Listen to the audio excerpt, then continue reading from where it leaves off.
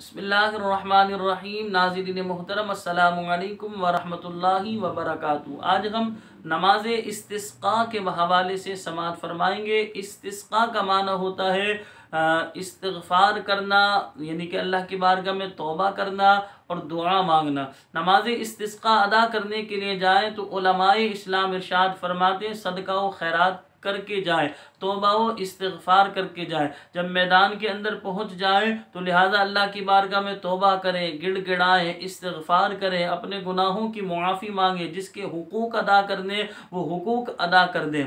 तो इमाम जो है, ऐसी सूरत में दो रकात नमाज़ पढ़ाएगा, जहर के साथ, जहर का मतलब ये बाज़ बुलंद जो है, यानी एक शख्स को इमाम बना दिया जाएगा और उसके पीछे लोग नमाज़ अदा करेंगे और जो है, इमाम जो है वो जो है, बा आवाज़ बुलंद जो है, क़रात करेगा।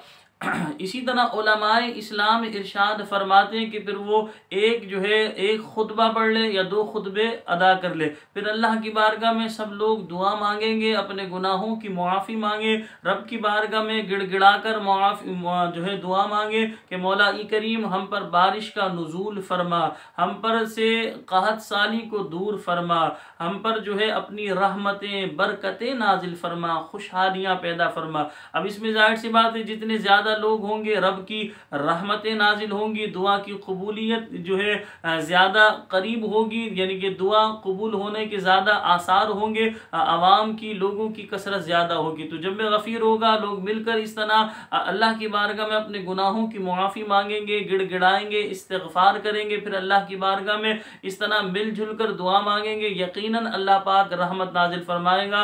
और बिलखसूस यहाँ मैं आपको ये बताता चलूँ, आज अभी जो है शहर कराची में बिलखसूस इसी तरह और भी जगहों पर जो है पानी की बहुत ज़्यादा किल्लत है। तो अल्लाह की बारगाह में दुआएँ मांगे और नमाज़ इस्तिस्का अदा करें। अच्छा इसके लिए जमात कोई शर्त नहीं आप अलग से भी अदा कर सकते हैं। दो रकात नमाज़ इस्तिस्का की नीयत से अदा कर ले। इसका नॉर्मल तरीका वही पहली रकात में सना पढ़ेंगे सूर्य फातिया इसके बाद सूरत मिलाएँगे और दूसरी रकात में सूर्य फातिया पढ़ेंगे, सूरत मिलाएँगे। आप फुकाहा ने यह ज़रूर लिखा कि पहली रकात में सब रबिकल आला पढ़ लें, दूसरी रकात में हल अता का हदीसुल गाशिया सुर गाशिया जिसे कहते हैं, वो पढ़ लें। लेकिन फुकाहा बयान फरमाते ये बेहतर है, पहली रकात में सूर आला, दूसरी में सूर गाशिया।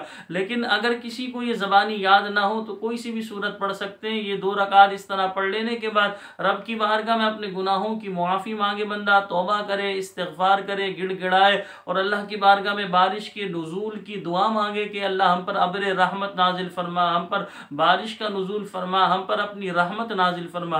तो जब इजतमाही तौर पर लोग इस तरह मांगेंगे तो ज़ाहिर सी बात है, अल्लाह तबारक व ताली बंदे की दुआ को कबूल फरमाएगा। अल्लाह की बारगाह में दुआ है कि बारिश की बहुत ज़्यादा किल्लत है पानी की बहुत ज़्यादा किल्लत है मैं दुआ करता हूँ। अल्लाह पाक हम सब पर अबर रहमत नाजिल फरमाए। अल्लाह पाक हम सब पर बारिश का नजूल फरमाए। असलकम वरहमल वर्का